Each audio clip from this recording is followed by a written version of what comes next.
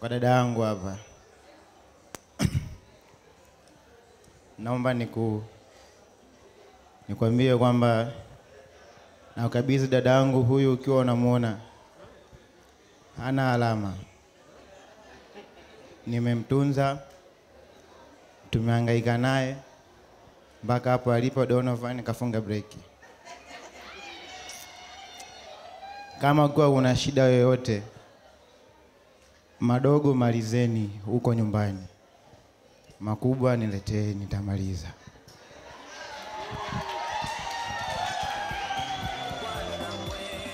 MC Katakisha baby.